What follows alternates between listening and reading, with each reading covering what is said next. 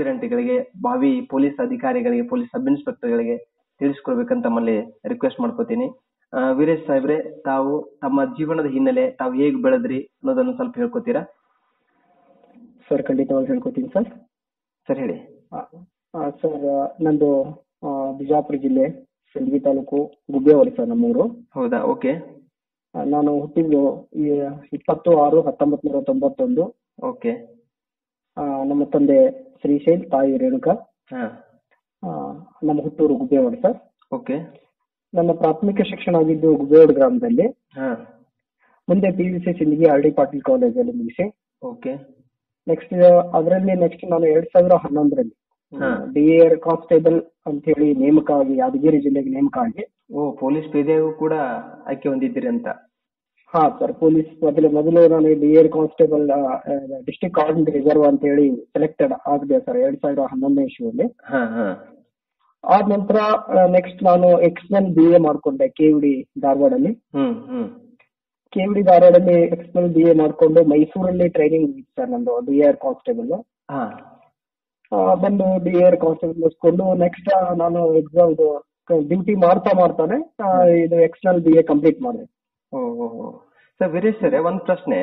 ನಮ್ಮ ಬಹಳಷ್ಟು ಜನ ಅಸ್ಪಿರೆಂಟ್ಗಳು ಏನಿದ್ದಾರೆ ಅಂದ್ರೆ ಈ ಎಕ್ಸ್ಟರ್ನಲ್ ಡಿಗ್ರಿ ಮಾಡೋದ್ರಿಂದ ಅದಕ್ಕೆ ವ್ಯಾಲ್ಯೂ ಇಲ್ಲ. ಬಹಳ ಜನ ಅದ್ರ ಮೇಲೆ ಜಾಬ್ ತಗೊಳಿಕ್ ಆಗಲ್ಲ ಅನ್ನುವಂತ ಗೊಂದಲದಲ್ಲಿ ಇದ್ದಾರೆ.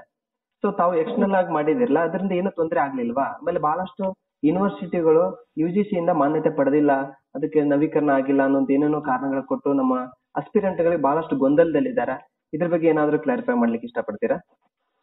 ಸರ್ ಯಾವುದೇ ಕಾರಣಕ್ಕೂ ನಾವು ಈಗ ಡಿಗ್ರಿ ತಗೊಂಡಾಗ ನಾವು ಹಾ. ಕೆಲವು ಯೂನಿವರ್ಸಿಟಿ ಫಾರ್ ಎಕ್ಸಾಂಪಲ್ ನಮ್ಮ ಮೈಸೂರು ಯೂನಿವರ್ಸಿಟಿಯನ್ನು ಹೊರತು ಗೊಂದಲ ಇತ್ತು ಅದು ಇಷ್ಟು ದಿನ ಆ Okay. ಗೊಂದಲಕ್ಕೆ ಇತ್ತೀಚೆಗೆ ತೆರೆ ಎಳೆದಿದೆ ಓಕೆ ಓಕೆ ಅದಕ್ಕೆ ನಾವು ಎಕ್ಸ್ಟರ್ನಲ್ ಬಿ ಎ ಆಗಿರ್ಲಿ ಡೈರೆಕ್ಟ್ ಬಿ ಎ ಆಗಿರ್ಲಿ ಅದು ಇಂಪಾರ್ಟೆಂಟ್ ಅಲ್ಲ. ನಾವು ಎಕ್ಸ್ಟರ್ನಲ್ ಬಿ ಎ ಆದ್ರೂ ಓದ್ಕೊಂಡು ನಾವು ಯಾವ ರೀತಿ ವಿಷಯನ ಅಂಡರ್ಸ್ಟ್ಯಾಂಡಿಂಗ್ ಮಾಡ್ಕೋತೀವಿ ಸಬ್ಜೆಕ್ಟ್ ಅನ್ನು ಯಾವ ರೀತಿ ಅರ್ಥ ಮಾಡ್ಕೊಂಡಿರ್ತೀವಿ ಅದ್ರ ಮೇಲೆ ಹೋಗಿರ್ತದೆ ಸರ್ ಅದು. ನಿಜ.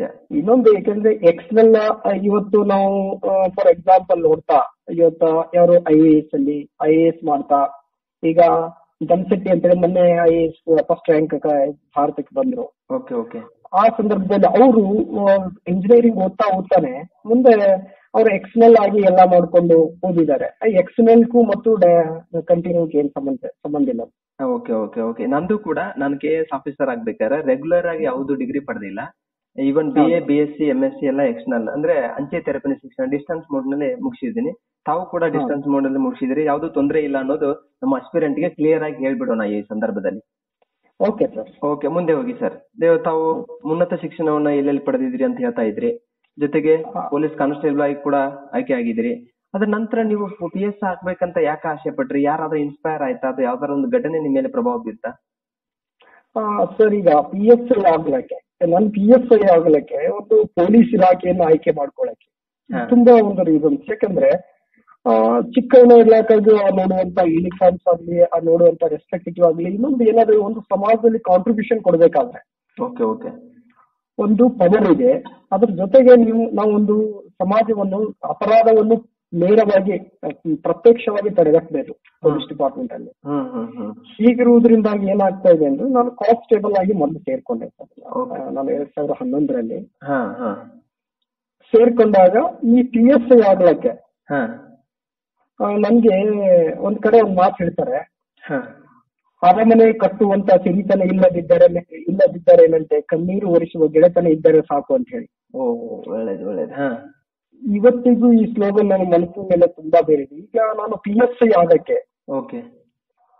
ನಾನು ಪಿ ಎಸ್ ಐ ಆಗಕ್ಕೆ ನನ್ನ ಸ್ನೇಹಿತರ ಒಂದು ಇದು ಹೆಚ್ಚಿದೆ ಸರ್ ನನಗೆ ಸಹಕಾರ ಹೆಚ್ಚಿದೆ. Okay okay. ಅಂದ್ರೆ ಸ್ನೇಹಿತರದ ಬಹಳಷ್ಟು ನಿಮಗೆ ಸಹಕಾರ ಸಿಕ್ಕಿದೆ ಅಂತ ಹೇಳ್ತಾ ಇದ್ದೀರಿ? ಅದರಲ್ಲಿ ನಾನು ಇವತ್ತಿಗೂ ನಾನು ನೆನೆಸ್ಕೊತಿದ್ದೀನಿ. ನಾನು ಇವತ್ತು ನಾನು ಪಿ ಎಫ್ ಐ ಆಗಿದ್ದೀನಿ ಅಂತಂದ್ರು ಇವತ್ತಿಗೂ ನನ್ನ ಸ್ನೇಹಿತ ಒಬ್ರು ಮೈಲಾರ್ಗೌಡ ಅಳಗಂಡಿ ಅಂತ ಹೇಳಿ ಗದಗ ಕೊಪ್ಪಳ ಡಿಸ್ಟಿಕ್ ದವ್ರು ಸರ್ ಅವರು. ನಿಜ he is the king maker. Yes ನೀವು ಕಿಂಗ್ ಆಗಿದ್ದೀರಿ ಅಂದ್ರೆ ಸ್ನೇಹ ನಾವ್ ಯಾರು ಸ್ನೇಹ ಮಾಡ್ತೀವಿ ಅವ್ರು ನಮ್ಮ ಸಕ್ಸಸ್ ಅನ್ನ ನಿರ್ಧಾರ ಮಾಡ್ತಾರ ಅನ್ನೋದು ನಿಮ್ಮ ಜೀವನದಲ್ಲಿ ಟ್ರೂ ಆಗಿದೆ ಅದು. ಟ್ರೂ ಆಗಿದೆ ಅದ್ರ ಜೊತೆಗೆ ಚನ್ ಚಂದ್ ಬಸು ನವರ್ ಅಂತ ಹೇಳಿ ಚನ್ ಚಂದ್ ಬಸು ಚಂದ್ ಬಸು ಅಂತ ಹೇಳಿ ಬಾಗಲಕೋಟೆ ಜಿಲ್ಲೆಯವರು. ನನ್ನ ಜೀವನದಲ್ಲಿ ಜೀವನದಲ್ಲಿ ಒಂದು ಅಚೀವ್ಮೆಂಟ್ ಮಾಡ್ಬೇಕು. ನನ್ನ ನನ್ನ ಜೀವನದಲ್ಲಿ ಒಂದು ಗುರಿಯನ್ನು ಇದು ಮಾಡಬೇಕು ನಿರ್ಧಾರ ಮಾಡಲು ಅದು ತುಂಬಾನೇ ಅವರು ನನಗೆ ಹೆಲ್ಪ್ ಆಗಿದೆ ಓಕೆ ಓಕೆ ಓಕೆ. ಅದ್ರ ಜೊತೆಗೆ ಒಬ್ಬ ನನ್ನ ಹತ್ರ ಪಿ ಎಸ್ ಐ ಆಗ್ಬೇಕು ಅಂತ ಹೇಳಿ ಕನಸು ಹೊಡೆದಿದ್ದು ಯಾವಾಗಪ್ಪ ಅಂತಂದ್ರೆ ಸರ್ ನಾನು ಒಂದು ಅವಮಾನಕ್ಕೆ ಒಳಗಾದೆ ಸರ್. ಹೌದಾ? ನಿಮ್ ಜೀವನದಲ್ಲಿ ಒಂದು ಅವಮಾನ ಘಟನೆ ಅನುಭವಿಸಿದ್ರೆ ತಾವು? ಖಂಡಿತವಾಗಿ. ಹಾ ಹೇಳಿ. ಏನಾಗಿದೆ ಅಂತಂದ್ರೆ ಪ್ರತಿ ಒಂದು ಆ, ಯಶಸ್ಸು ಮತ್ತು ಪ್ರತಿ ಒಂದು ವೈಫಲ್ಯದ ನಡುವೆ ಒಂದು ಒಬ್ಬ ಹೆ- ಪಾತ್ರ ಇರುತ್ತೆ ಅಂತ ಅದು ಆ, ಒಂದು ಲೋಕವಿಧಿ ಮಾತಿದೆ. ಎಸ್ ಎಸ್ ಪ್ರತಿಯೊಬ್ಬ ಯಶಸ್ವಿ ಪುರುಷನ ಹಿಂದೂ ಕೂಡ ಒಬ್ಬ ಮಹಿಳೆ ಇರ್ತಾಳೆ ಅಂತ. ನಿಮ್ಮ ಜೀವನದಲ್ಲಿ ಮಹಿಳೆ- ಒಬ್ಬ ಮಹಿಳೆ ಇದ್ದಾಳನ ಹಾ ಮಹಿಳೆ ಇದ್ದಾಳೆ ಸರ್ ಓ ವೆರಿ ನೈಸ್ ಹೇಳಿ ಯಾರದು ಅವರು ನನ್ನ ಪತ್ನಿಯಾಗಿ ಬಂದವಳು ಅಂತ ಅನ್ಕೋತೀನಿ ಸರ್. ನನ್ನ ಪತ್ನಿ ಆಗ- ಆಗಿ ಬಂದವಳು ಸರ್ ನನಗೆ already I married sir okay okay okay ತಮ್ಮ ಮದುವೆ ಆಗಿದೆ. ತಮ್ಮ ಧರ್ಮ ಪತ್ನಿ ಆ ಒಂದು ಮಹಿಳೆ. ಮಹಿಳೆ ಸರ್. ಈ ಆ ಒಂದು ಮಹಿಳೆ ನನಗೆ ಏನಾಗಿದೆ ಅಂತಂದ್ರೆ ನನ್ನ ಮೇಲೆ ಸುಳ್ಳು ಆರೋಪಗಳನ್ನು ಮಾಡಿ ಸುಳ್ಳು ಆರೋಪಗಳನ್ನು ನೋಡಿ ನನಗೆ ನನ್ನ ಮೇಲೆ ಪ್ರಕರಣ ದಾಖಲು ಮಾಡಿದೆ. ಓ ಇಂಟ್ರೆಸ್ಟಿಂಗ್ ಓಕೆ ಪ್ರಕರಣ ದಾಖಲು ಮಾಡಿದ್ರಿಂದಾಗಿ ಕೌಟುಂಬಿಕ ನ್ಯಾಯಾಲಯ ವಿಜಯಪುರದಲ್ಲಿ ಒಂದು ಡಿಸ್ಕಷನ್ ನಡೀತಾ ಇತ್ತು. ಹ್ಮ್ ಹ್ಮ್ ಹ್ಮ್. ಡಿಸ್ಕಷನ್ ನಡೀತಾ ಇರ್ಬೇಕಾದ್ರೆ ನನ್ಗೆ ಏನಾಯ್ತು ನಮ್ಮ ಧರ್ಮ ಪತ್ನಿಯವರ ತಾಯಿಯವರು ನಮ್ಮ ಧರ್ಮಪತ್ನಿ ತಾಯಿಯವರು ಏನಾಯ್ತು ನಮ್ಮ ನನ್ನ ಅತ್ತೆ ಅತ್ತೆಯವಳು ಮಾತೊಂದಿರ್ತಾರೆ ಮಾತೊಂದೇ ಸರ್ ಹ್ಮ್ ಹ್ಮ್. ಈಗ ಸಂಸಾರಿಕ ಜೀವನದಲ್ಲಿ ಏರುಪೇರುಗಳು ಬರುವುದು ಸಹಜ. ಅದನ್ನು ಮ್ಯಾನೇಜಿಂಗ್ ಮಾಡ್ಕೊಂಡು adjusting is the most important of every every women life ಅಲ್ಲಿ adjusting is the most important ಹೌದು ಹೌದು. ಹಾಗಿರೋದ್ರಿಂದಾಗಿ ನಾನು ನೀನು ಹೊಂದಾಣಿಕೆಯಿಂದಿರೋನು ಅಂತ ಹೇಳಿ ನನ್ನ ಧರ್ಮಪತ್ನಿಗೆ ಕನ್ವಿನ್ಸ್ ಮಾಡುವಾಗ ನಮ್ಮ ಅತ್ತೆಯವರು ಒಂದು ಮಾತಂದ್ರು ನನಗೆ. ಆಫ್ಟರ್ ಆಲ್ ಕಾನ್ಸ್ಟೇಬಲ್ ಜೋಡಿ ಜೀವನ ಏನ್ ಮಾಡ್ತೀಯ ಎದ್ದು ಬಾ ಅಂತ ಹೇಳಿ ನನ್ನ ಧರ್ಮಪತ್ನಿಗೆ ನನ್ನ ಅತ್ತೆ ಕರೆದ್ಲಿ ಅಂದ್ರೆ ನಿಮ್ಮ ಒಂದು ಕಾನ್ಸ್ಟೇಬಲ್ ಹುದ್ದೆಯನ್ನ ಆಫ್ಟರ್ ಆಲ್ ಅನ್ನುವಂತ ಒಂದು ಶಬ್ದ ಬಳಸಿ ಮಾತಾಡಿದ್ದು ನಿಮಗೆ ಬಹಳಷ್ಟು ಸಹಿಸಿಕೊಳ್ಳಕ್ ಸಹಿಸ್ಕೊಳಕ್ ಅವಮಾನವನ್ನ ಅವಮಾನವನ್ನು ಉಂಟು ಮಾಡ್ತು ಅಂತ. ಸಹಿಸಿಕೊಳ್ಳುವಂತ ಅವಮಾನ ಆಯ್ತು. ಅದೇ ಸಂದರ್ಭದಲ್ಲಿ ನನಗೆ ಎಫ್ ಡಿ ಎ ಮತ್ತು ಎಸ್ ಡಿ ಅಪಾಯಿಂಟ್ಮೆಂಟ್ ಆಗಿತ್ತು ಸರ್. ಆಲ್ರೆಡಿ ಆ ಹುದ್ದೆಗಳು ಕೂಡ ತಾವು ನೇಮಕಾತಿ ಹೊಂದಿದ್ರಿ. ಹೌದು sir S D A appointment S D A S D A ಮತ್ತು ಎಫ್ ಡಿ ಎ ಮತ್ತು ಸಿವಿಲ್ ಪೊಲೀಸ್ ಕಾನ್ಸ್ಟೇಬಲ್ ಆಗಿ ಮೂರು ಆರ್ಡರ್ ಆಲ್ರೆಡಿ ನಮ್ಮ ಮನೆಗೆ ತಲುಪಿದ್ದು ಸರ್ ಇನ್ನು ಯಾವುದು ಜಾಯಿನ್ ಆಗಿರ್ಲಿಲ್ಲ ಬಟ್ ಅದು ಎಲ್ಲ ನೇಮಕಾತಿ ಲೆಟರ್ಗಳು ಬಂದಿದ್ದು ನಿಮಗೆ. ನಾನು ಡಿ ಆರ್ ಕಾನ್ಸ್ಟೇಬಲ್ ಆಗಿ ನಾಲ್ಕು ವರ್ಷ ಮಾಡಿದ್ದೆ. ಆದ್ರೂ ಮತ್ತೆ ನೆಕ್ಸ್ಟ್ ನಾನು ಸಿವಿಲ್ ಕಾನ್ಸ್ಟೇಬಲ್ಗೆ ಅಪ್ಲೈ ಮಾಡಿ civil constable F D A S D ಎದಲ್ಲಿ ನಾನು ಸಕ್ಸಸ್ ಕಂಡಿದ್ದೆ ಸರ್ ಓ ವೆರಿ ಗುಡ್ ಹಾ. ಆ ಸಂದರ್ಭದಲ್ಲಿ ಇದೇನು ಮೈಸೂರಿಗೆ ನನಗೆ ಪೋಸ್ಟಿಂಗ್ ಆಗಿ ಸರ್ ಎಫ್ ಡಿ ಎ ಹೋಗ್ಬೇಕು ಅನ್ನೋಷ್ಟಿಗೆ ಇದು ಪ್ರಕರಣ ನನ್ನ ಮೇಲೆ ದಾಖಲಾಗಿರೋದ್ರಿಂದ ನಾನು ನ್ಯಾಯಾಲಯಕ್ಕೆ ಹಾಜರಾಗಬೇಕಾಗಿತ್ತು. ಹೋದಾಗ ನನಗೆ ಆ ಪ್ರಾಬ್ಲಮ್ ಕಾನ್ಸ್ಟೇಬಲ್ ಅಂದ್ರಲ್ಲ ಅಂತೇಳಿ ಒಂದ್ಸಲ ನೋ ಆಯ್ತು ನನಗೆ ಬಂದ್ ಒಂದ್ ಕಡೆ ನಾನು ಲಾಜಿಕ್ ಆಗಿ ಥಿಂಕ್ ಮಾಡಿದೆ. ಹೌದು ಕರೆಕ್ಟ್ ಅವ್ರು ಅಂದದ್ದು ಕರೆಕ್ಟ್ ನಾನು ಕಾನ್ಸ್ಟೇಬಲ್ ರೇಂಜ್ ಅಲ್ಲಿ ಇದೀನಿ ಅವ್ರು ಕಾನ್ಸ್ಟೇಬಲ್ ಅಂದಿದ್ದಾರೆ. ಓಕೆ. ನಾನು ಏನ್ ಮಾಡ್ಬೇಕು ಇದಕ್ಕೆ? ನಿಜ. ನಾನು ಬಸ್ನಲ್ಲಿ ಬರ್ತಾ ಇರ್ಬೇಕಾದ್ರೆ ಥಿಂಕ್ ಮಾಡ್ತಾ ಬಂದೆ. ಓಕೆ ಅಂದ್ರೆ ಒಬ್ಬ ವ್ಯಕ್ತಿಗೆ ಅವಮಾನ ಆದ್ರೆ ಏನೆಲ್ಲ ಸಾಧಿಸಬಹುದು ಅನ್ಲಿಕ್ಕೆ ನಿಮ್ಮ ಜೀವನದ ಒಂದು ದೃಷ್ಟಾಂತವು ಕೂಡ ಉದಾಹರಣೆ ಆಗ್ಬಹುದು ಹ್ಮ್. ಆಮೇಲೆ ಹೇಳಿ ಹೇಳಿ ಹೇಳಿ. ಸರ್ ಹೇಳಿ ಹೇಳಿ ಇಲ್ಲ ಹೇಳಿ ಸರ್ ನೀವೇ ಹೇಳಿ ಹೇಳ್ತಾ ಹೋಗಿ ಹಾಗೆ. ಯಾಕಂದ್ರೆ ನಮ್ಗೆ ಅವಮಾನಿತನಾಗಿ ಆ ಸಂದರ್ಭದಲ್ಲಿ ನಾನು ಕಣ್ಣೀರ್ ಹಾಕಿದ್ರೆ ಹೋಗಿದ್ರೆ ಒಂದು ಪಿ ಎಸ್ ಐ ಆಗ್ತಾ ಇರ್ಲಿಲ್ಲ. ಓ. ಕಣ್ಣೀರ್ ಹಾಕಿ ಹೋಗ್ಬಿಟ್ರೆ ಆ ಕಣ್ಣೀರಲ್ಲಿ ಹೊರಟೋಗ್ತಾ ಇತ್ತು ನನ್ನ ಶೌರ್ಯ ಏನು ನನ್ನ ಇದು ಏನು ಅಂತ ಹೇಳಿ. ಎಸ್ ಎಸ್ ಎಸ್ ಹಾ. ಆ ಸಂದರ್ಭದಲ್ಲಿ ನಾನು ಒಂದು ಡಿಸೈಡ್ ಮಾಡಿದೆ ಪಿ ಎಸ್ ಐ ಆಗ್ಬೇಕು. ಹ್ಮ್ ಹ್ಮ್. ಪಿ ಎಸ್ ಐ ಆಗ್ಬೇಕು ಅಂತೇಳಿ ನಾನು ನಿರ್ಧಾರ ಮಾಡಿದೆ. ಓಕೆ. ಆ ನಿರ್ಧಾರ ಮಾಡಿರುವಂತ ಸಂದರ್ಭದಲ್ಲಿ ನನ್ನ ನನಗೆ ನನ್ನ ಜೀವನದ ಬಹು ತಿರುವಿಗೆ ಕಾರಣನಾಗಿರ್ತಕ್ಕಂತ ಒಂದು ಆ, ಯಾರಂದ್ರೆ ನಮ್ಮ ಮೈಲಾರ್ಗೌಡ ಅಳವಂಡಿ ಆಗಿರ್ಬೋದು ನಮ್ಮ ಚಂದ್ರಸೂರ್ ಆಗಿರ್ಬೋದು ಹೇಳಿದ್ರು ಏನ್ ಸ್ನೇಹಿತರು ಸರ್? ಜಸ್ಟ್ ನಾನು ನ್ಯಾಯಾಲಯಕ್ಕೆ ಹೋಗಿ ಹಾಜರಾಗಿ ಬಂದ ನಂತರ ನನಗೆ ಅವ್ರು ಕುಂದಿರ್ಸ್ಕೊಂಡು ಹೇಳಿದ್ರು. ನೀನ್ ಎಲ್ಲ ಇಷ್ಟು ಹುದ್ದೆಗಳಿಗೆಲ್ಲ ಏನು ಅಪಾಯಿಂಟ್ಮೆಂಟ್ ಆಗಿದೆಯಾ? ಖಂಡಿತವಾಗಿ ಇವತ್ತು ನೀನು ಪಿ ಎಸ್ ಐ ಹಾಕು ಮುಂದೆ ನೀನು ಒಂದು ಒಳ್ಳೆ ಎಫರ್ಟ್ ಹಾಕಿದ್ರೆ ಕೆ ಎಸ್ ಆಫೀಸರ್ ಆಗ್ತಿ ಅಂತ ಹೇಳಿ. ನನಗೆ ಅವತ್ತೇ ಕೆ ಎಸ್ ಅಂತ ಹೇಳಿ. ನನಗೆ ಒಂದು ನಾಮಕರಣ ಮಾಡಿದ್ರು. ಸರ್ ಇವತ್ತಿಗೂ ನನಗೆ ವೀರೇಶ್ ಕೆ ಎಸ್ ಅಂತ ಕರೀತಾರೆ sir. Oh very good nice ಹ್ಮ್. ಒಳ್ಳೆ ಸ್ನೇಹಿತರ. ಅದ್ರ ಜೊತೆಗೆ ಹಾ. ಕೇವಲ ಒಂದು ಗುರಿ ಮುಟ್ಟು ಗುರಿ ಮನಸ್ಸಿನಲ್ಲಿ ಇಟ್ಕೊಳ್ಳೋದು ಇಂಪಾರ್ಟೆಂಟ್ ಅಂತ ಸರ್. ಹಾ. ನನ್ನ ಸ್ಪೆಷಲ್ ಎಕ್ಸ್ಪೀರಿಯನ್ಸ್ ಪ್ರಕಾರ. Okay okay. ಗುರಿ ಇಟ್ಕೊಂಡು ನಾನು ಪಿ ಎಸ್ ಐ ಆಗ್ತೀನಿ ನಾನು ಎಸ್ ಪಿ ಆಗ್ತೀನಿ ನಾನು ಐ ಪಿ ಎಸ್ ಆಗ್ತೀನಿ. ಹ್ಮ್. ಅದಕ್ಕಾಗಿ ಒಂದ್ ಕಡೆ ಒಂದು ಮಾತು ಬರುತ್ತೆ ಸರ್. ಹ್ಮ್ ಹ್ಮ್. ಸಾಧಕನನ್ನು ಅನುಕರಿಸುವುದು ಸಾಧನೆಯಲ್ಲ ಸಾಧಕನ ಸಾಧನೆಯನ್ನು ಪಕ್ಕಕ್ಕೆ ಸರಿಸುವುದೇ ನಿಜವಾದ ನಿಜವಾದ ಸಾಧನೆ ಆಗ್ಬೇಕು ಸರ್. ಹೌದು ಹೌದು ಹೌದು. ಇವತ್ತು ನಾವು ಮುಖ್ಯವಾಗಿ ಮುಂದೆ ಪಿ ಎಸ್ ಐ ಬರೆಯೋರಿಗೆ ಮುಖ್ಯವಾಗಿ ಕೊಡುವಂತ ಒಂದು ಸಲಹೆ ಏನಪ್ಪಾ ಅಂದ್ರೆ ಓಕೆ. ಇವತ್ತು ವೀರೇಶ್ ಪಿ ಎಸ್ ಐ ಆದ ಇವತ್ತು ರವಿ ಡಿ ಚಂದನ್ ಅವ್ರ ಸರ್ ಎಸ್ ಪಿ ಆದ್ರು. ಹೌದೌದು ಹೌದು. ಅವರನ್ನು ಹೊಗಳ್ಕೊಂಡಿರುವುದೇ ನಮ್ಮ ಸಾಧನೆ ಆಗಬಾರ್ದು. ಹೌದು ಹೌದು. ಅವರ ಸಾಧನೆಯನ್ನು ಬ್ರೇಕ್ ಮಾಡುವಂತ ಸಾಧನೆ ನಮ್ದಾಗ್ಬೇಕು ಅನ್ನೋದು ಇದೇ ಸಂದೇಶ ಅವ್ರಿಗೆ ಕೊಡೋದು. ನಿಜ ನಿಜ ನಿಜ. ಒಳ್ಳೆ ಸಂದೇಶ. ಅವ್ರಿಗೆಲ್ಲ ಸ್ಫೂರ್ತಿ. ನಿಮ್ಮ ಮಾತುಗಳು ಅವ್ರು ಕೇಳ್ತಾ ಹೋದ್ರೆ ಎಷ್ಟೋ ಜನ ಓದ್ ಓದ್ಬಾರ್ದಪ್ಪ ಇದು ಸಾಕ್ ನನ್ನ ಜೀವನ ಮುಗೀತು ಅಂತ ಜಿಗುಪ್ಸೆಗೊಂಡವರು ಕೂಡ ಈ ಮಾತುಗಳನ್ನ ಈ ಸ್ಫೂರ್ತಿದಾಯಕನ ಮಾತು ಕೇಳಿಬಿಟ್ರೆ ಎದ್ದು ಓದ್ಬೇಕು ಅವರು. ಅಂತ ಮಾತುಗಳು ಓಕೆ ಹೇಳಿ ಸರ್ ಹೇಳಿ. ಇದೇ ಸಂದರ್ಭದಲ್ಲಿ ನಾವು ಮುಖ್ಯವಾಗಿ ಇನ್ನೊಂದು ಏನಪ್ಪಾ ಅಂತಂದ್ರೆ ಆ ಆ, ನಮ್ಮ ಅಪ್ಪನಿಗೆ ನಾವು ಇಬ್ರು ಮಕ್ಕಳು ಸರ್. ಅವಿನಾಶ್ ಮತ್ತು ವೀರೇಶ್ ಅಂತ. ಓಕೆ ಓಕೆ ಓಕೆ ಚೆನ್ನಾಗಿದೆ ಹೆಸರು. ನನ್ನ ಜೀವನದಲ್ಲಿ ತಿರುವಿಗೆ. ಹಾ. ನನ್ನ ಜೀವನದ ಅತ್ಯಂತ ತಿರುವಿನ ಹಂತದ ನನ್ನ ಜೀವನದ ಕೊನೆ ಹಂತ ತಲುಪಿದಾಗ. ಹಾ. ಇನ್ನೇನು ನಾನು ಆತ್ಮಹತ್ಯೆ ಎಂಬ ಕದ ತಟ್ಟುವಂತ ಒಂದು ಇದರಲ್ಲಿ ನನಗೆ ಆ ಒಂದು ಒಳ್ಳೆ ರೂಟಿಗೆ ತಂದಿರುವಂತ ವ್ಯಕ್ತಿ ನನ್ನ ಸಹೋದರ ವಿಲಾಶ್ ಓ ಅಷ್ಟೊಂದು ಜಿಗುಪ್ಸೆಗೊಂಡಿದ್ರ ತಾವು ಆತ್ಮಹತ್ಯೆ ಅನ್ನುವಂತ ಪ್ರಯತ್ನ ಕೂಡ ಕೈ ಹಾಕುವಂತ ಮಟ್ಟಕ್ಕೂ ಹೋಗಿದ್ದೀರಾ? ಅಷ್ಟೊಂದು ಕಷ್ಟ ಇಲ್ಲ ಆ- ಆ- ಆ ತರ ಕಷ್ಟ ನನಗೆ ಬಂದಿದೆ ಸರ್. ಅಂದ್ರೆ ಜೀವನದಲ್ಲಿ ಇಷ್ಟೊಂದು ಕಷ್ಟಗಳನ್ನ ಅನುಭವಿಸಿದ ಮೇಲೂ ಕೂಡ ಸಾಧನೆ ಮಾಡಿದಿರಿ ನೀವು. ಆತ್ಮಹತ್ಯೆ ಮಾಡ್ಕೋಬೇಕನ್ನುವಂತ ನಿರ್ಧಾರ ಮಟ್ಟಕ್ಕೆ ಹೋಗುವಂತ ಕಷ್ಟಗಳನ್ನ ಎದುರಿಸಿಯೂ ಕೂಡ ಪೊಲೀಸ್ ಸಬ್ ಇನ್ಸ್ಪೆಕ್ಟರ್ ಆಗಿದ್ದೀರಿ ಅಂದ್ರೆ ನಮ್ಮ ಎಷ್ಟೋ ಜನ ಅಸ್ಪಿರೆಂಟ್ ಕೂಡ ಈ ತರ ಕಷ್ಟಗಳನ್ನ ಅನುಭವಿಸ್ತಾ ಇದಾರ ಅವ್ರಿಗೆ ನಿಮ್ ಮಾತುಗಳು ಸ್ಫೂರ್ತಿ ಆಗ್ತವೆ. ಖಂಡಿತ ಮಾತಾಡಿ ಸರ್. ಅದಕ್ಕಾಗಿ ತಮ್ಮ ನಮ್ಗೆ ನನ್ನ ತಮ್ಮ ಅಭಿಲಾಷ್ ಅಂತೇಳಿ ಹಾ ಹಾ. ನನ್ನ ಜೀವನದ ಪ್ರತಿ ಹೆಜ್ಜೆ ಹೆಜ್ಜೆಗೂ ಸಹಿತ ನನ್ನ ಮಾರ್ಗದರ್ಶಕ. ಅವನ ಅನ್ಕಿನ ನಾಲ್ಕು ವರ್ಷ ಚಿಕ್ಕವನು. ಕುಬೇಡ್ ಗ್ರಾಮದಲ್ಲಿ ಇವತ್ತೇನಾದ್ರೂ ಅವನಿಗೆ ಐದು ಜಾಬ್ ನನಗೂ ಐದು ಜಾಬ್ ಸರ್ ಅವನು ಎಫ್ ಡಿ ಎಸ್ ಬಿ ನಾನು ಎಫ್ ಡಿ ಎಸ್ ಬಿ ಅವನು ಆರ್ ಎಸ್ ಐ ನಾನು ಆರ್ ಎಸ್ ಐ ಅವನು ಪೊಲೀಸ್ ಕಾನ್ಸ್ಟೇಬಲ್ ನಾನು ಪೊಲೀಸ್ ಕಾನ್ಸ್ಟೇಬಲ್ ಅವನಿಗೆ ಪ್ರ- ಎಲ್ಲದರಲ್ಲಿ ಕಾಂಪಿಟೇಷನ್ ನನ್ನ ಒಳ್ಳೆ ಕಾಂಪಿಟೇಟರ್ಸ್ ಅಂದ್ರೆ ನಮ್ಮ ನನ್ನ ತಮ್ಮ ಅಭಿಲಾಷ್ ನಿಜ ನಿಜ. ಇನ್ನೊಂದು ಅಭಿಲಾಷ್ ಅವರ ಒಂದು ಇದು ಏನಂತಂದ್ರೆ ಒಂದ್ ಮಾತು ಹೇಳ್ತಿರ್ತಾನೆ ಯಾವತ್ತು. ಹೇಳಿ. ನಮ್ಮ ಅಣ್ಣ ಪಿ ಎಸ್ ಆದ್ರೆ ನಾ ಡಿವೈಸ್ ಪಿ ಆಗ್ತೀನಿ ಓ. ನಮ್ಮ ಡಿ ನಮ್ಮ ಅಣ್ಣ ಡಿವೈಸ್ ಒಟ್ಟಂದ್ರೆ ಒಂದ್ ಆಸೆ ಅವಳಿಗೆ. ನಮ್ಮ ಅಣ್ಣನ ಮೇಲೆ ನಾವು ಇರ್ಬೇಕು. ಎಸ್ ಎಸ್ ಎಸ್ ಹಾ ಅಷ್ಟೊಂದು ಛಲ. ಇವತ್ತು ನಾನ್ ಈ- ಸಾಧನೆ ಯಾರಿಗೆ ಸಲ್ಬೇಕಾಗಿತ್ತು ಮೂರು ವ್ಯಕ್ತಿಗಳಿಗೆ ಸಲ್ಬೇಕು ಸರ್. ಓಕೆ ಓಕೆ ಓಕೆ ಒಂದು ಅಭಿಲಾಷ್ ಅವರಿಗೆ. ಓಕೆ ಒಂದು ಅಳವಂಡೆ ಅವರಿಗೆ. ಒಂದು- ಸಹೋದರರು. ಓಕೆ ನಮ್ಮ ಚಂದಸು ಅವರಿಗೆ. ಎಸ್ ಅದಕ್ಕಿಂತ ಮುಖ್ಯವಾಗಿ ನನ್ನ ಜೀವನದಲ್ಲಿ ಪಿ ಎಸ್ ಐ ಅಂತೇಳಿ ಗುರಿ ಕನಸು ಹೊಡೆಯಕ್ಕೆ ಕಾರಣನಾಗಿರ್ತಕ್ಕಂಥ ನನ್ನ ಹಿತಶತ್ರು ನನ್ನ ಧರ್ಮ ಪತ್ನಿಗೂ ಸಲ್ಬೇಕಾಗುತ್ತೆ ಅವ್ರು ಯಾಕೆ ಹಿತಶತ್ರು ಅಂತೀರಪ್ಪ? ಅವ್ರು ನಿಮ್ಮ ಅರ್ಧಾಂಗಿ. ಅದು ಅರ್ಧಾಂಗಿ. ನೀವು ಹೇಳಿದ್ರಲ್ಲ ನನಗೆ ಬಹಳ ಖುಷಿ ಏನಂದ್ರೆ ನಿಮ್ಮ ಅತ್ತೆಯವರು ಮಾತಾಡಂತ ಮಾತುಗಳನ್ನ ನೆಗೆಟಿವ್ ಆಗಿ ತಿಳ್ಕೊಂಡು ಅದನ್ನ ಅವರ ವಿರುದ್ಧ ದ್ವೇಷ ಸಾಧಿಸ್ತಾ ಕೂಡ್ಲಿಲ್ಲ ನೀವು.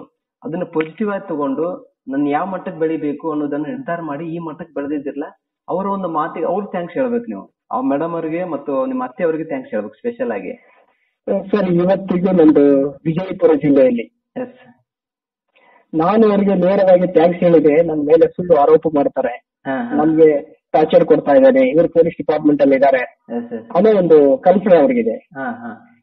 ಅದಕ್ಕಾಗಿ ನಾನು ನನ್ನ ಭಾವಚಿತ್ರಗಳೇ ಅವರಿಗೆ ವಿಜಯಪುರ ಜಿಲ್ಲೆಯಲ್ಲಿ ವಿಜಯಪುರ ನಗರಗಳಲ್ಲೇ ನನ್ನ ಭಾವಚಿತ್ರವೇ ಅವರಿಗೆ ಮುಟ್ಟಿಸಿದೆ ಸಂದೇಶ. Okay okay okay. ಅಂದ್ರೆ ನಾವು ಮಾಡುವಂತ ಕೆಲಸಗಳು ನಮ್ಮ ಒಂದು ಮಾತಾಡ್ಬೇಕು ನಾವು ಮಾತಾಡೋದಕ್ಕಿಂತ ಅಂತ ಹೇಳ್ತಾ ಇದ್ದೀರಿ. ಖಂಡಿತ ನಿಮ್ಮ ಒಂದು ಸಾಧನೆ ಆಮೇಲೆ ಅವಮಾನ ಆಮೇಲೆ ಇನ್ನೊಂದು ಹೇಳಿ. ಪೊಲೀಸ್ ಇಲಾಖೆಯಲ್ಲಿ ಹ್ಮ್. ಎಸ್ಪೆಷಲಿ ಹೇಳ್ತಿದ್ದೀನಿ ಹ್ಮ್. ಪೊಲೀಸ್ ಇಲಾಖೆಯಲ್ಲಿ ಒತ್ತಡ ಹೆಚ್ಚಿರುತ್ತೆ. ಖಂಡಿತ. ಇಂಪಾರ್ಟೆಂಟ್ ಡ್ಯೂಟಿ ಡ್ಯೂಟೀಸ್ ಗಳಿರ್ತವೆ. ಹೌದು. ಆ ಸಂದರ್ಭದಲ್ಲಿ ನನ್ನ ಹೈಯರ್ ಆಫೀಸರ್ಗಳಾದ ಹ್ಮ್. ಶಿವಾನಂದ್ ಎಂ ಅವರಿಗೆ ಓಕೆ ಕೇದಾರ್ನಾಥ್ ಜಿ ಎಚ್ ಈ ಮೊಹಮ್ಮದ್ ಸಿರಾಜ್ ಅಂತೇಳಿ ಇವರೆಲ್ಲ ಇವ್ರು ಇಷ್ಟು ಒಂದು ಈ ಎಲ್ಲಾ ಸರ್ಗಳು ಇನ್ಸ್ಪೆಕ್ಟರ್ ಕೇಡರ್ದವ್ರು ಸರ್ ಸೀನಿಯರ್ ಆಫೀಸರ್ಸ್ ನಿಮ್ಮ ಮೇಲಿನ ಅಧಿಕಾರಿಗಳು. ಓಕೆ ಓಕೆ ಅಧಿಕಾರಿಗಳು. ಆ ಸಂದರ್ಭದಲ್ಲಿ ನನಗೆ ಎಲ್ಲಿ ಡ್ಯೂಟಿ ಕೇಳ್ತೀನಿ ಅಲ್ಲಿ ಡ್ಯೂಟಿ ಹಾಕಿ. ನನಗೆ ಒಂದು ಒಳ್ಳೆಯ ವಾತಾವರಣ ನಿರ್ಮಾಣ ಮಾಡಿರುವಂತ ಈ ಆಫೀಸರ್ ಗಳಿಗೆ ನಾ ಯಾವತ್ತೂ ಸರ್ ನಿಜ ನಿಜ. ಅಂದ್ರೆ ನಾವು ಬೆಳಿಲಿಕ್ಕೆ ಕಾರಣೀಭೂತ ಆದವರು ನಮಗೆ ಸಪೋರ್ಟಿವ್ ಆಗಿ ನಮ್ಮ ಬೆನ್ನೆಲುಬಾಗಿ ಬೆನ್ ತಟ್ಟಾ ನಿಮ್ಮ ಕೆಲಸ ಕಾರ್ಯಗಳಿಗೆ ಸಹಕಾರ ಕೊಡ್ತಾ ಮಾರ್ಗದರ್ಶನ ಮಾಡ್ತಾ ನಿಮ್ಮನ್ನು ಬೆಳೆಸಿದಂತ ಅವ್ರು ನೆನ್ ನೆನಿಲೇಬೇಕು. ಸೊ ನಮ್ಮ ವೇದಿಕೆಯಿಂದ ಅವ್ರಿಗೊಂದು ಸ್ಪೆಷಲ್ ಆಗಿ ಥ್ಯಾಂಕ್ಸ್ ಹೇಳೋಣ. ಹೌದು ಸರ್. ನನ್ನ ಒಂದು ಅದರಲ್ಲಿ ಮುಖ್ಯವಾಗಿ ಇವರು ನನಗೆ ಕೇದಾರ್ ಸರ್ ಆಗಿರ್ಬೋದು ನಮ್ಗೆ ಶಿವಾನಂದ್ ಸರ್ ಆಗಿರ್ಬೋದು ನಿನ್ಗೆ ಯಾವ ಡ್ಯೂಟಿ ಬೇಕು? ನೀನು ಒಳ್ಳೆ ಆಫೀಸರ್ ಆಗ್ಬೇಕಂತೇಳಿ ಬೆನ್ ತಟ್ಟಿ ನನ್ಗೆ ನನ್ನ ಸಾಧನೆಗೆ ಸ್ಫೂರ್ತಿ ಆದವರು ಸರ್ ಅವ್ರನ್ನ ಮರೆಯಕ್ಕಾಗಲ್ಲ ಓಕೆ ಸರ್ ಖಂಡಿತ ಅವರೆಲ್ಲರೂ ನೆನ್ಸ್ಕೊಳ್ಳೋಣ. ಆಮೇಲೆ ಈ ಪಿ ಎಸ್ ಐ ಆಗ್ಲಿಕ್ಕೆ ನಿಮಗೆ ಬಹಳಷ್ಟು ಇನ್ಸ್ಪೈರ್ ಆದಂತ ಘಟನೆಯನ್ನು ಹೇಳಿದ್ರಿ ಅಥವಾ ಅವಮಾನ ಆದಂತ ಘಟನೆಯನ್ನ.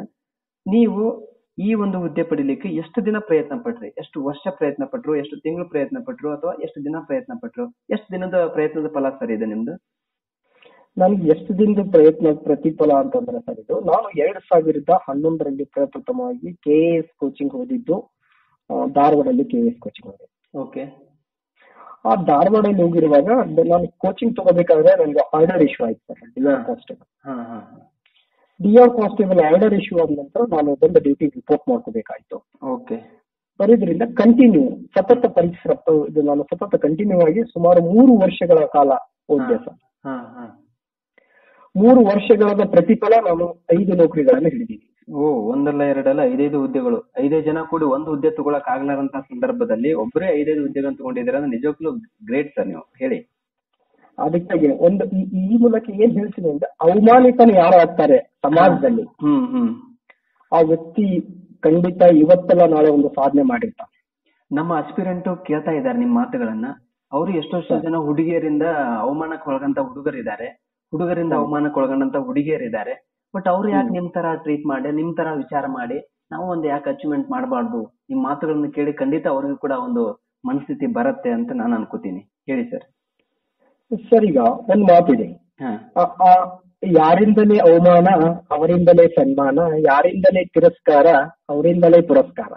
ಓಕೆ ಓಕೆ ಓಕೆ ಒಳ್ಳೇದು. This is very inspiring sir ನಿಜ ಸರ್ ನಿಜ. ಯಾಕಂದ್ರೆ ನಮ್ಮ ಒಬ್ಬ- ವ್ಯಕ್ತಿ ಇವತ್ತು ನಮ್ಮ ಯಾರ ನಮ್ಗೆ ಅವನು ಅವನೇನು ಅವನ ಆಫ್ಟರ್ ಕಾನ್ಸ್ಟೇಬಲ್ ಅಂದ್ರೆ ಓ ಸರಿ ಬಿಡ ಅವ್ರಷ್ಟೇ ಅವ್ರು ಅನ್ಕೋತಿದ್ದಾರೆ ಅಂತೇಳಿ ನಾವು ಸುಮ್ಮನೆ ಇದ್ರೆ ಸಬ್ ಇನ್ಸ್ಪೆಕ್ಟರ್ ಆಗ್ಲಕ್ ಆಗ್ತಿರ್ಲಿಲ್ಲ ನಿಜ ನಿಜ. ಒಬ್ಬ ವ್ಯಕ್ತಿ ಸಾಧನೆ ಮಾಡಿದ ನಂತರ ನಾವು ಸುಮ್ಮನೆ ಮಲ್ಕೊಂಡಾಗ್ತಾರೆ. ಇವಾಗ ಬೇಜಾರಾದಾಗ ಬೇಜಾರಾದಾಗ ಸುಮ್ಮನೆ ಮಲ್ಕೊಂಡಾಗ ಓದೋದು ಬೇಜಾರಾದಾಗ ಹ್ಮ್. ನಾವು ವಿಚಾರ ಮಾಡ್ಬೇಕು. ಹ್ಮ್ ಹ್ಮ್. ನಾನು ಅಸಿಸ್ಟೆಂಟ್ ಕಮಿಷನರ್ ಅವರಿಗೆ ನನಗೆ ಸಮಾಜದಲ್ಲಿ ಯಾವ ಗೌರವ ಇದೆ? ನಿಜ. ನಾನು ಸಬ್ ಇನ್ಸ್ಪೆಕ್ಟರ್ ಆದ್ರೆ ಯಾವ ಗೌರವ ಇದೆ? ಒಂದ್ ಕಡೆ ನಾವು ನಮಗೆ ಒಂದು ಶಿಕ್ಷಣ ಅಸಿಸ್ಟೆಂಟ್ ಕಮಿಷನರ್. ಈಗ ಒಬ್ಬ ಅಸಿಸ್ಟೆಂಟ್ ಕಮಿಷನರ್ ಆಗಿ ತಾವು ನನ್ನ ಜೊತೆ ಸಂದರ್ಶನ ಮಾಡ್ತಾ ಇದ್ದಾರೆ. ಹೌದು ಒಬ್ಬ ಅಸಿಸ್ಟೆಂಟ್ ಕಮಿಷನರ್ ಆಗೋಕ್ಕಿಂತ ಪೂರ್ವದಲ್ಲಿ. ನನ್ಗೆ ಇನ್ನೊಂದು ಮಾತು ಹೇಳಕ್ಕೆ ನಾನು ಮಾಡ್ತಿದ್ದೆ.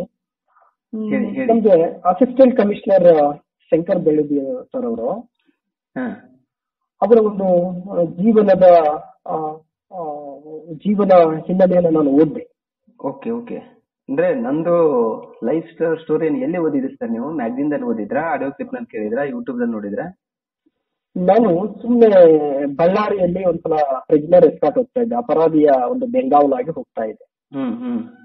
ಹೋಗ್ತಾ ಇರುವಾಗ ಏನೋ ಬೇಜಾರಾಗಿತ್ತು. ಅದರಲ್ಲಿ ಸ್ಪರ್ಧಾ ಚೈತ್ರ ಅಂತ ಹೇಳಿ ತಗೊಂಡೆ ನಾನು. ಮಾಲ್ವಿಯಲ್ಲಿ ತಗೊಂಡೆ. ಇವತ್ತಿಗೂ ನೆನಪಿದೆ. ಓ ಚೈತ್ರ ಮ್ಯಾಗ್ಝಿನ್ ಓಕೆ ಹಾ.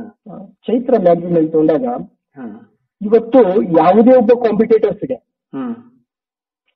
ನಿಮ್ಮಂತ ಸಮಸ್ಯೆ ಬಂದಿಲ್ಲ ಅನ್ಕೋತೀವಿ ಅದ್ ಅತಿ ಕನಿಷ್ಠ ಮ್ಯಾಕ್ಸಿಮಮ್ ಅನ್ನೋದು ಒಂದು ಅಕಮೆಂಡೇಶನ್ ಇವತ್ತು ಎಲ್ಲರಿಗೂ ಒದಗಿದೆ. ಓಕೆ ಓಕೆ ಬಟ್ ನಿಮ್ಮ ಒಂದು ಜೀವನದ ಯಶೋಗಾಥೆ ನಾನು ಓದಿದಾಗ ಹಾ.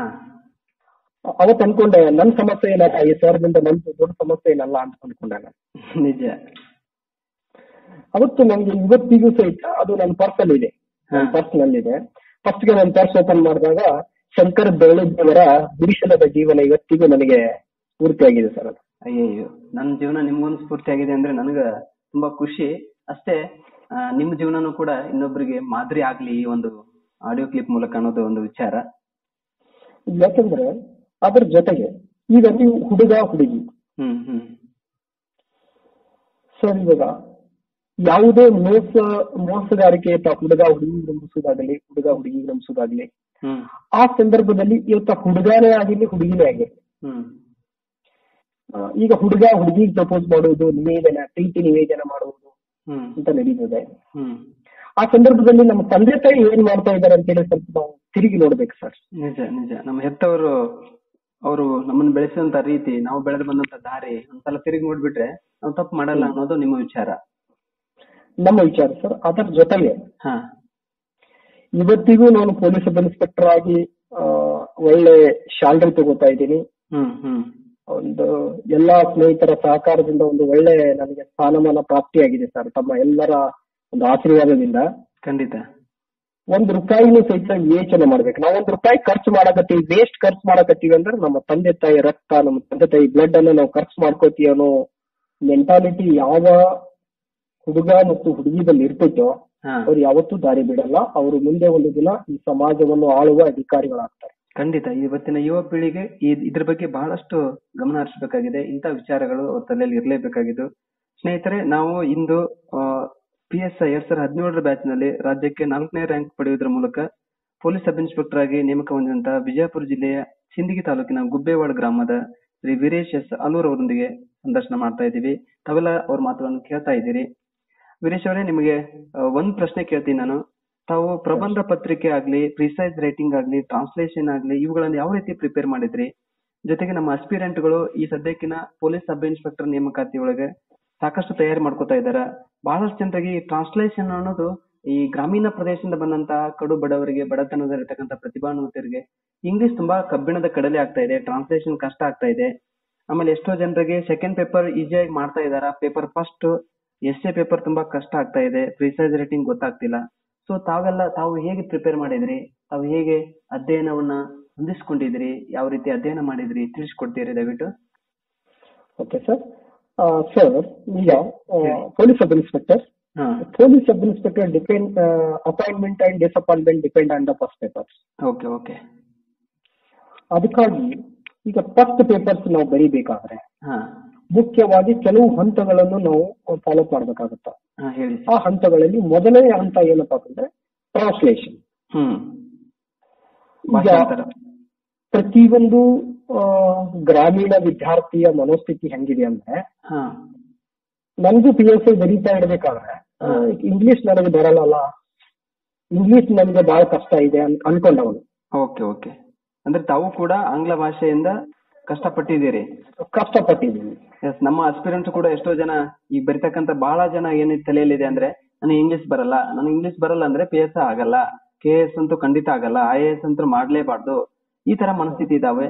ಸೊ ನಿಮ್ಗೂ ಇಂಗ್ಲಿಷ್ ಕಷ್ಟ ಆದಾಗ ನೀವು ಇಂಗ್ಲಿಷ್ ಅನ್ನ ಹೇಗೆ ಸುಲಭಗೊಳಿಸ್ಕೊಂಡ್ರಿ ಸರ್ ಓಕೆ ಸರ್ ನಾನು ಯಾವತ್ತು ಸೆಕೆಂಡ್ ಪೇಪರ್ ನಾನು ಚೆನ್ನಾಗಿ ಸ್ಕೋರ್ ಮಾಡ್ತಾ ಇದ್ದೆ. ಎಸ್ ಎಸ್ ಆ ಸಂದರ್ಭದಲ್ಲಿ ನನಗೆ ಫಸ್ಟ್ ಪೇಪರ್ ಪ್ರಾಬ್ಲಮ್ ಅಲ್ಲಿತ್ತು ಅದೇ ಸಂದರ್ಭದಲ್ಲಿ ನನಗೆ ಇಂಟರ್ವ್ಯೂ ಮಾಡುವ ಇಂಟರ್ವ್ಯೂ ಮಾಡ್ತಾ ಇರುವಂತ ತಾವುಗಳಿಗೆ ನಾನು ಫೋನ್ ಮಾಡಿದೆ.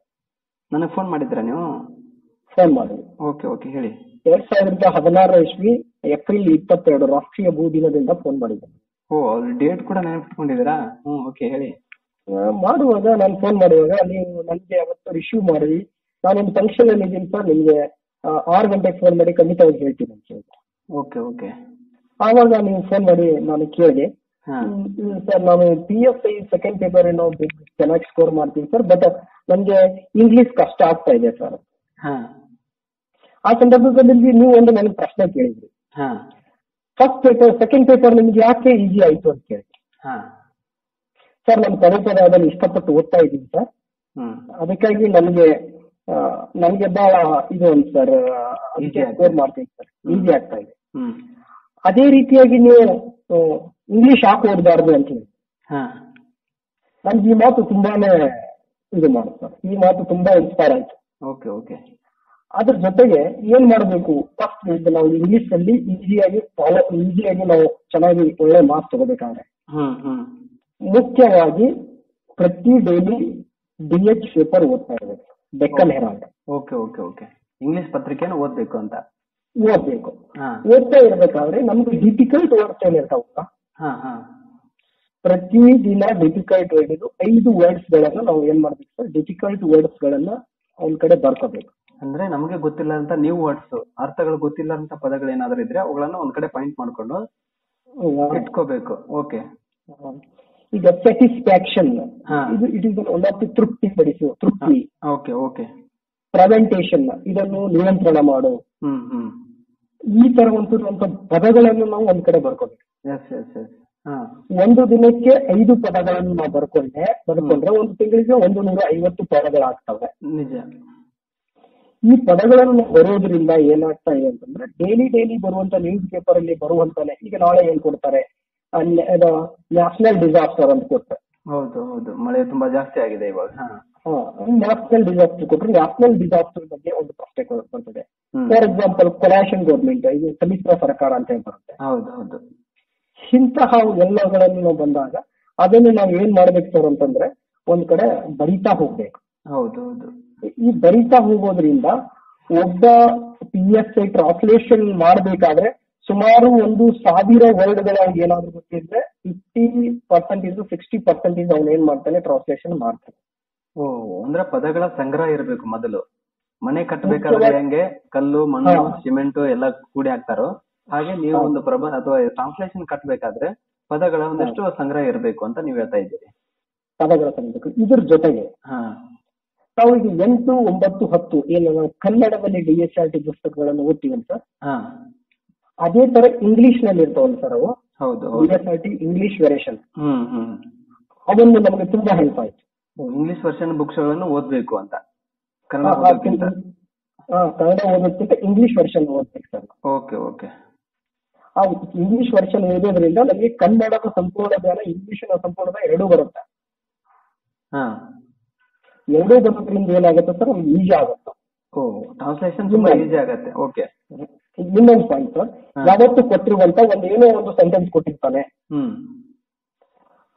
ಏನೋ ಒಂದು ಸೆಂಟೆನ್ಸ್ ಕೊಟ್ಟಿದ್ದಾವೆ. ಇಂಗ್ಲಿಷ್ ನಾಗ ಒಂದು ಸೆಂಟೆನ್ಸ್ ಕೊಟ್ಟಾಗ ಅದು ಸೆಂಟೆನ್ಸ್ ವೈಸ್ ನೀವು ನಾವು ಟ್ರಾನ್ಸ್ಲೇಷನ್ ಮಾಡ್ಬೋದು. ಅದರ ಅರ್ಥ ನಿಮ್ಗೆ ಗೊತ್ತಿದ್ರೆ ಬರೆದು ಬಿಡ್ಬೇಕು. Easy way hmm hmm.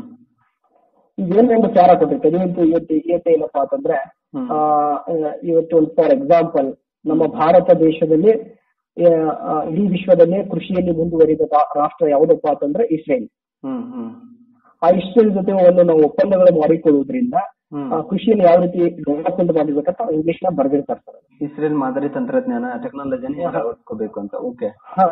ಅದ್ರ ಬಗ್ಗೆ ನಿಮ್ಗೆ ಎಲ್ಲೋ ಓದಿದ್ರಿ ಎಲ್ಲೋ ಗೊತ್ತಿತ್ತು. ಇಮಿಡಿಯೇಟ್ ನೀವು ರೈಟ್ ಮಾಡ್ಬೇಕು. ಎಸ್ ಎಸ್ ಎಸ್ ಅದು ರೈಟ್ ಮಾಡೋದ್ರಿಂದ ಬಹಳ ಹೆಲ್ಪ್ ಆಗುತ್ತೆ. ಇದರ ಜೊತೆಗೆ ಹಾ. ನನ್ಗೆ ಈಗ ಬಹಳ ಹೆಲ್ಪ್ ಆಗಿತ್ತು ಅಂದ್ರೆ ಎಸ್ ಎಸ್ ಕಲ್ಪೆಟ್ಟಿ ಅಂತ ಹೇಳಿ ಇದರಲ್ಲಿ ಸಿಂದಗಿಯಲ್ಲಿ ಒಬ್ಬರು ಶಿಕ್ಷಕರು ಇದ್ದಾರೆ ಸರ್ ಇಂಗ್ಲಿಷ್ ಬೋಧನೆ ಮಾಡ್ತಾರೆ ಓಕೆ ಓಕೆ ಆ ಎಸ್ ಎಸ್ ಕನ್ಸೆಟ್ಟಿ ಅವರು ಒಂದು ವರ್ಡ್ಸ್ ಅಂದ್ರೆ ಒಂದು ಒಂದು ಒಂದು ಹದಿನೈದು ನೂರು ವರ್ಡ್ಸ್ ಗಳಿದಾವೆ ಹ್ಮ್. ವರ್ಡ್ಗಳು ಹ್ಮ್ ವರ್ಡ್ಗಳನ್ನು ಓದ್ಕೊಂಡೆ ಸರ್ ನಮ್ದು ನಮ್ಮದು ಇರೋದೇ three hundred three three hundred ವರ್ಡ್ಸ್ನಲ್ಲಿ ಒಂದು ಇದು ಸರ್ ಟ್ರಾನ್ಸ್ಲೇಷನ್ ಓಕೆ ಆ ತ್ರೀ ಹಂಡ್ರೆಡ್ ವರ್ಡ್ಸ್ನಲ್ಲಿ ಇರುವಂತದ್ದು ಅವರಲ್ಲಿ ಬಂದಿದ್ದು ನಮಗೆ ಎರಡು ನೂರ ಹದಿನೈದು ವರ್ಡ್ಸ್ಗಳು ನಾನು ಏನು ಎಫರ್ಟ್ ಹಾಕಿನಿ ಒಂದು D S R T English book ಓದ್ಬೇಕು ಡೆಕ್ಕನ್ ಹೆರಾಲ್ಡ್ ಪೇಪರ್ ಓದ್ಬೇಕು ಹ್ಮ್ ಹ್ಮ್. ಜೊತೆಗೆ ಎಸ್ ಎಸ್ ಕಲ್ಸೆಟ್ಟಿ ಅವರು ಕೊಟ್ಟಿರುವಂತ ವರ್ಡ್ಸ್ಗಳು ಓದ್ಬೇಕು. ಅದ್ರ ಜೊತೆಗೆ ಗ್ರಾಮರ್ಗಳನ್ನು ನಾವು ತಿಳ್ಕೊಬೇಕಾಗತ್ತೆ. ಓಕೆ ಓಕೆ ಓಕೆ ಈಗ ಗ್ರಾಮರ್ಗಳಲ್ಲಿ ಮುಖ್ಯವಾಗಿ ಟೆನ್ಸಸ್ಗಳು ತಿಳ್ಕೋಬೇಕು. ಈಗ past present future okay okay ಇದು ಇದ್ರ ಬಗ್ಗೆ ತಿಳ್ಕೊಂಡ್ರೆ ಟ್ರಾನ್ಸ್ಲೇಷನ್ ಸಫಿಶಿಯಂಟ್ ಸಾಕಷ್ಟು ಮಾಡಿದ್ರೆ ಹ್ಮ್ ಟ್ರಾನ್ಸ್ಲೇಷನ್ಗೆ ಇವೆಲ್ಲ ಗೊತ್ತಿರಬೇಕು. ಇದನ್ನೆಲ್ಲ ಮಾಡಿದ್ರೆ ಟ್ರಾನ್ಸ್ಲೇಷನ್ ತುಂಬಾ ಈಸಿ ಆಗುತ್ತೆ ಅನ್ನೋದು ನಿಮ್ಮ ವಿಚಾರ. ಓಕೆ ಸರ್ ಓಕೆ ಹಾಗಿದ್ರೆ ಮತ್ತೆ ಈ ಎಸ್ ಎ ರೈಟಿಂಗ್ಗೆ ಯಾವ ರೀತಿ ತಾವು ಪ್ರಿಪರೇಷನ್ ಮಾಡಿದ್ರಿ? ಪ್ರಬಂಧ ಪತ್ರಿಕೆಗೆ? ಯಾವ ರೀತಿ ಬುಕ್ ರೆಫರ್ ಮಾಡಿದ್ರಿ? ಬಹಳ ಜನ ಕೇಳ್ತಾರೆ ಎಸ್ ಎ ರೈಟಿಂಗ್ ಹೇಗೆ ಬರೀಬೇಕು? ಪ್ರಬಂಧ ಪತ್ರಿಕೆ ಯಾವ ಒಳ್ಳೆಯ ಬುಕ್ ಇರ್ತಕ್ಕಂಥ ಯಾವ್ದಾದ್ರು ಸಜೆಸ್ಟ್ ಮಾಡ್ತೀರಾ ಅಂತ ಕೇಳ್ತಿರ್ತಾರೆ. ಸೊ ಅದ್ರ ಬಗ್ಗೆ ನಿಮ್ದು ಏನಾದ್ರು ವಿಚಾರ? ಸರ್. ಎಸ್ ಎ ರೈಟಿಂಗು ಒಂದು ಪಕ್ಕ ಪ್ರಶ್ನೆ ಏನಪ್ಪಾ ಅಂತಂದ್ರೆ ಮುಖ್ಯವಾಗಿ ನಾವು ಎಸ್ ಎ ರೈಟಿಂಗ್ ಬರೆಯುವವರಿಗೆ ಒಂದು ನನ್ನ ಸ್ಪೆಷಲ್ ಸಜೆಷನ್ ಹೇಳಿ ಹೇಳಿ. ಏನಪ್ಪಾ ಅಂತಂದ್ರೆ ಈಗ ಎಸ್ ಎ ಕೊಟ್ಟಿರುವಂತ ಎನ್ನು ಎಲ್ಲರೂ ಒಂದೇ for example G S T G S T ಎಲ್ಲರನ್ನು ಏನೋ ಬರ್ದು ಅಲ್ಲಿ ಎಲ್ಲ ವ್ಯಾಪಕ ಹಾಕಿರ್ತಾರೋ ಅದನ್ನೇ ಬೈಪಾಟ್ ಮಾಡಿ ಬರೆಯೋದ್ರಿಂದ ಮಾರ್ಕ್ಸ್ ಬರಲ್ಲ. Okay okay. ಅದು ಬೈಪಾಟ್ ಮಾಡಿ ಹಾಕಿದ್ದಾರೆ ಅಂತ ಗೊತ್ತಾಗುತ್ತೆ. ಕಾಪಿ ಕ್ಯಾಟ್ ಆಗಬಾರ್ದು. ಫಾರ್ ಎಕ್ಸಾಂಪಲ್ ಈಗ ಒಬ್ಬ ಕೋಮುವಾದ ಅಂತ ಬರೆದ್ರಂತೆ. ಕೋಮುವಾದ ಹ್ಮ್. ಈ ಕೋಮು ಈ ಕೋಮುವನ್ನು ಕೊಟ್ಟಿದ್ರೆ ಒಬ್ಬ ಪಿ ಎಸ್ ಐ ಅಧಿಕಾರಿಯಾಗಿ ಒಬ್ಬ ಡಿವೈಎಸ್ಪಿ ಅಧಿಕಾರಿ ಒಬ್ಬ ಅಸಿಸ್ಟೆಂಟ್ ಕಮಿಷನರ್ ಆಗಿ. ಹಾ. ನಾಳೆ ನಿನ್ನ ಲಿಮಿಟ್ಸ್ ಅಲ್ಲಿ ಒಬ್ಬ ಪಿ ಎಸ್ ಐ ಆಗಿ ಆದ್ರೆ ನನ್ನ ಲಿಮಿಟ್ಸ್ ಅಲ್ಲಿ ಒಂದು ಕೋಮುವಾದ ಜರುಗಿತು ಒಂದು ಜಗಳ ಒಂದು ಗಲಾಟೆ ಆಯ್ತು ಯಾವ್ದಾರೆ. ಓಕೆ. ಅಲ್ಲಿ ಯಾವ ರೀತಿ ನೀವು ಪ್ರೆವೆಂಟ್ ಮಾಡ್ತಿ ಅನ್ನೋದು ನಾವು ಪ್ರೆಸೆಂಟೇಶನ್ ಮಾಡ್ಬೇಕಾಗಿರ್ತದೆ ಸರ್ ಅಲ್ಲಿ. ಅಂದ್ರೆ ಒಂದು ಆ ಸ್ಥಾನದಲ್ಲಿ ಇದ್ಕೊಂಡು ಅದನ್ನ ನೋಡುವಂತ ದೃಷ್ಟಿಕೋನ ಇರ್ಬೇಕು ನಮ್ದು. ನಾವು ಯಾವತ್ತು ಪ್ರಬಂಧ ಬರೀತಾ ಇದೀವೋ ನಾವು ನಾವೊಬ್ಬ ಅಧಿಕಾರಿಯಾಗಿ ಪ್ರಬಂಧ ಬರೀಬೇಕು. ಅಂದ್ರೆ ಒಬ್ಬ ಅಸ್ಪಿರೆಂಟ್ ಆಗಿ ಬರೋದಕ್ಕಿಂತ ಒಬ್ಬ ಅಧಿಕಾರಿಯಾಗಿ ಆ ಸ್ಥಾನದಲ್ಲಿ ಇದ್ಕೊಂಡು ನಾವು ಯಾವ ಜವಾಬ್ದಾರಿತ ಆ, ಕಾರ್ಯವನ್ನು ನಿರ್ವಹಿಸಬೇಕಾಗತ್ತೆ ಅನ್ನೋದನ್ನ ತಲೆಯಲ್ಲಿ ಇಟ್ಕೊಂಡು ಆ ಪ್ರಬಂಧವನ್ನು ಮಂಡಿಸಿದ್ರೆ ಒಂದು ಇಫೆಕ್ಟಿವ್ ವಿಷಯ ಆಗತ್ತೆ ಅನ್ನೋದು ನಿಮ್ಮ ವಿಚಾರ. ಓಕೆ ಒಳ್ಳೇದು. ಅದಕ್ಕಾಗಿ ಈಗ ಪ್ರಬಂಧಗಳಲ್ಲಿ ಮುಖ್ಯವಾಗಿ ಏನಂತ ಅಂತಂದ್ರೆ ಒಂದು ಕೊಟೇಶನ್ ಇಂದ ಪ್ರಾರಂಭ ಆಗ್ಬೇಕು ಸರ್ ಪ್ರಬಂಧ ಯಾವಾಗಲಿ ಒಂದು ಕೊಟೇಶನ್ ಇಂದ ಸ್ಟಾರ್ಟ್ ಆಗ್ಬೇಕು. ಓಕೆ ಸರ್ ಫಾರ್ ಎಕ್ಸಾಂಪಲ್ ಈಗ ಕಾವೇರಿ ಇಶ್ಯೂ ನಡೀತಾ ಇದೆ. ಕಾವೇರಿ ಇಶ್ಯೂ ಬಗ್ಗೆ ಒಂದು ಏನೋ ಒಂದು ಸ್ಲೋಗನ್ ಹಾಕೋದು. ಏನಪ್ಪಾ ಅಂತಂದ್ರೆ ಹುಟ್ಟಿದ ಮನೆ ಹಾಗೂ ಸೇರಿದ ಮನೆಗಳ ಮನೆಗಳೆರಡಲ್ಲೂ ಜಗಳವಾಗಲು ಕಾರಣ ಹೆಂಗಸರ. ಇದಕ್ಕೆ ತಾಜಾ ಉದಾಹರಣೆ ಅಂತಂದ್ರೆ. ಕಾವೇರಿ ಕದನ. Okay okay okay. ತುಂಬಾ ತಮಾಷೆ ಆಗಿದೆ. ಅಷ್ಟೇ ಅದು ಅದು ಸೂಕ್ತ ಆದಂತ ಕೊಟೇಶನ್ ಅದು. ಈ ಕಾವೇರಿ ಇದು ಸರ್ ಅದ್ರ ಜೊತೆಗೆ. ನಾವೀಗ ಬೇರೆ ಒಂದು ಏನೋ ಕೋಮವಾದ ಬರೀತಾ ಇದೀವಿ. ಇಲ್ಲಿ ಒಂದು ಸ್ಪಷ್ಟವಾಗಿ ವಿಚಾರ ಗಮನ ಇರಬೇಕು. ಇಲ್ಲಿ ಯಾವುದೇನು ಹೆಣ್ಮಕ್ಕಳನ್ನ ಅವಮಾನ ಮಾಡ್ತಾ ಇಲ್ಲ. ಇದು ಕೇವಲ ವಿಡಂಬನಾತ್ಮಕವಾಗಿ ಆ ಒಂದು ಸಂದರ್ಭಕ್ಕೆ ಸೂಕ್ತವಂತ ಒಂದು ಕೊಟೇಶನ್ ಹಾಕ್ತಾ ಇದ್ದಾರೆ. ಹೆಣ್ಮಕ್ಳು ದಯವಿಟ್ಟು ಅಪಾರ್ಥ ಮಾಡ್ಕೋಬಾರ್ದು. ಓಕೆ ಅದಕ್ಕೆ ಇದು ಒಂದು ಯಾಕಂದ್ರೆ ನಾವು ಪ್ರತಿಯೊಂದು ಈಗ ಇದು ಈಗ ನಾವು ಪ್ರಕೃ ಪ್ರಕೃತಿಯನ್ನು ಪೂಜಿಸಬೇಕಾದ್ರೆ ಮಾತೆಯರ ಹೆಸರಿತೀವಿ ತಾಯಿಯನ್ನು ಓದ್ತೀವಿ ಕರ್ನಾಟಕ ತಂದೆ ಏನಲ್ಲ ಕರ್ನಾಟಕ ತಾಯಿ ಅಂತೀವಿ ಕರ್ನಾಟಕ ಮಾತೆ ಅಂತೀವಿ. ಎಸ್ ಎಸ್ ಎಸ್ ಭಾರತಾಂಬೆ. ಅದಕ್ಕೆ ಇಲ್ಲಿ ಇಲ್ಲಿ ಹೆಣ್ಣು ಮಕ್ಕಳು ಗಂಡು ಮಕ್ಕಳು ಅಂತೇಳಿ ತಾರತಮ್ಯ ಏನಿಲ್ಲ ಬಟ್ ತರ ಸ್ಲೋಗನ್ ಹಾಕ್ಬೇಕು ಅಂತ ಹೇಳಿದೆ. ನಿಜ ನಿಜ ನಿಜ. ಹೋಗ್ಲಿ, ಅದು ಬಿಟ್ರೆ ಒಂದು ಫಾರ್ ಎಕ್ಸಾಂಪಲ್ ಹಾ. ಕೋಮವಾದ ಕುಲ ಒಂದು ಹೊಡೆದಾಡದಿರಿ ನಿಮ್ಮ ಕುಲದ ನೆಲೆಯನ್ನೇನಾದರೂ ಬಂದಿದ್ದೀರಾ? Okay okay. ದಾಸ ಸಾಹಿತ್ಯ ಬರುತ್ತೆ ಓಕೆ. ದಾಸರ ಸಾಹಿತ್ಯ. ಇದು ಕೋಮವಾದ ಬರೆಯೋದು ಇಂಥ ಇಂಥ ಒಂದು ಕೊಟೇಶನ್ ಹಾಕಿ. ನಿಜ ನಿಜ. ಆ ಕೊಟೇಶನ್ ಹಾಕುವಾಗ ನಾವು ಪ್ರಸ್ತಾವನೆಯನ್ನು ಬರೀತಿರ್ತೀವಲ್ಲ ಸರ್. ಪೀಠಿಕೆ ಪ್ರಸ್ತಾವನೆ ಓಕೆ. ಆ ಪ್ರಸ್ತಾವನೆಯಲ್ಲಿ ಬರೆಯುವಂತ ಪ್ರಬಂಧಕ್ಕೆ ಕಾರಣ ಏನು? ಹ್ಮ್ ಹ್ಮ್. ಆ ಪ್ರಬಂಧದ ಪ್ರಬಂಧದಿಂದ ಆಗುವ ಪರಿಣಾಮಗಳೇನು? ಆ ಪ್ರಬಂಧನ ಬರಿತಾ ಇರುವಂತ ವಿಷಯದ ಒಂದು ಅದರ ಬಗ್ಗೆ ಪರಿಣಾಮ ಏನು ಅದರ ಬಗ್ಗೆ ಹೇಳ್ಕೊಡ್ಬೇಕು ಸರ್ ಅಂದ್ರೆ ನೀವು ಮುಂದೆ ಏನನ್ನ ಮಂಡಿಸ್ತಾ ಇದ್ದೀರಿ ಅನ್ನೋದನ್ನ ಸಂಕ್ಷಿಪ್ತವಾಗಿ ಅಲ್ಲಿ ಹೇಳ್ಬೇಕಾಗತ್ತೆ. ಈಗ ಒಂದು ಅನ್ನವನ್ನು ನಾವು ಕುದಿಲಾಕಿದ್ದಾಗ ಅನ್ನದ ಅಗಳನ್ನು ಇದು ಅನ್ನ ಕುದ್ದಿದೆ ಇಲ್ಲ ಅಂತ ಹೇಳಿ ಹೆಂಗ್ ನೋಡ್ತೀವಿ ಸರ್? ಓಕೆ. ಹಂಗೆ ನಮ್ಮ ಒಂದು ಪ್ರಬಂಧ ಆಗಿರೋದು. ಇದು ಆಗಿರ್ಬೇಕು ಸರ್. ಪ್ರಸ್ತಾವನೆ. ರೈಟ್ ಸರ್ ರೈಟ್ ಅದು ಆ ನಂತರ ಪ್ರಬಂಧ ಯಾವ ರೀತಿ ಮಾಡ್ಬೇಕಂದ್ರೆ ನಾವು ಒಂದು ಒಳ್ಳೆ ಗುಡ್ ಎಸ್ ಎ ಆಗ್ಬೇಕಾಗಿತ್ತು. ನಮ್ದು ಎಸ್ಎ ನಾರ್ಮಲ್ ಆಗಿ ಎಲ್ಲರೂ ಬರೀತಾರೆ ಹದಿಮೂರು ಹನ್ನೆರಡು ಮಾರ್ಕ್ಸ್ ಕೊಡ್ತಾರೆ ಔಟ್ ಆಫ್ ಟ್ವೆಂಟಿಗೆ ಹ್ಮ್ ಹ್ಮ್. ಆದ್ರೆ ನಾವು ಹೆಚ್ಚು ಮಾರ್ಕ್ಸ್ ತಗೋಬೇಕು. ಓಕೆ ಎಲ್ಲರ ಆಸೆನೂ ಅದೇ ಇರುತ್ತೆ. ಎಲ್ಲರೂ. ಅದರಲ್ಲಿ ಹೆಚ್ಚು ನಾವು ಎಷ್ಟು ಅಂತಂದ್ರೆ ಹದಿನೆಂಟರಿಂದ ಹತ್ತೊಂಬತ್ತು ಮಾರ್ಕ್ಸ್ ತಗೋಬೇಕು ಔಟ್ ಆಫ್ ಹಾ ಆ ಮಾರ್ಕ್ಸ್ ತಗೋಬೇಕಾದ್ರೆ ನಾವು ಏನ್ ಮಾಡ್ಬೇಕಾಗತ್ತೆ? ಆ ಮಾರ್ಕ್ಸ್ ತಗೋಬೇಕಾದ್ರೆ ಮುಖ್ಯವಾಗಿ ಏನ್ ಮಾಡ್ಬೇಕಂದ್ರೆ ಸರ್ ನಾವು ನಾವು ಪ್ರಬಂಧದ ಹಂತಗಳಿವೆ ಏನಲ್ಲ ಆ ಹಂತಗಳನ್ನು ಫಾಲೋ ಮಾಡ್ಬೇಕು. ಇದು ಮೊದಲನೇ ಒಂದು ನಿಯಮ. ಓಕೆ ಓಕೆ ಈಗ ಪ್ರಸ್ತಾವನೆ ಅರ್ಥ ಹ್ಮ್.